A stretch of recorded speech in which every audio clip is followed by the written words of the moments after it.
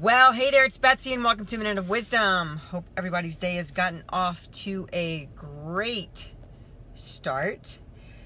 Today, I want to get started with a scripture, and it is Psalm 139 14.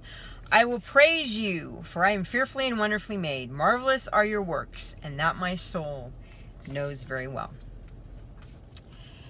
So, let me ask you do you really believe that scripture? Do you really believe that you're fearfully and wonderfully made?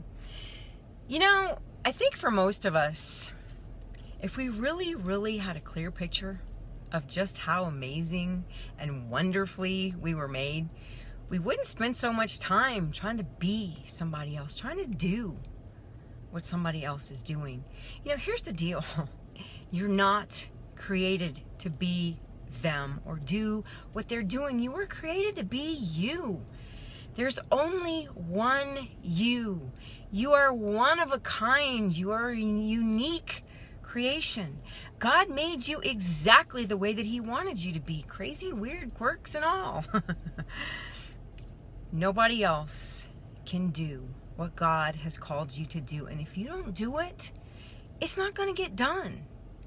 You know, this might sound a little harsh, but trying to be like somebody else is basically like slapping God in the face. So give yourself permission to just be you. Not the you that you think that people want you to be, but who you really are. You know, I, put a post on here last night and it said that you can't please everybody. So make sure that you're staying true to your own heart. You see, authenticity is magnetic. And inauthenticity is one of the fastest ways to repel people away from you.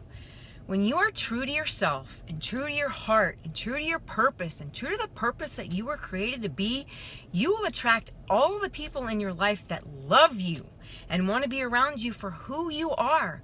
And the rest of the people, the ones that don't get you, don't worry about it. They're not supposed to get you and they just really don't matter.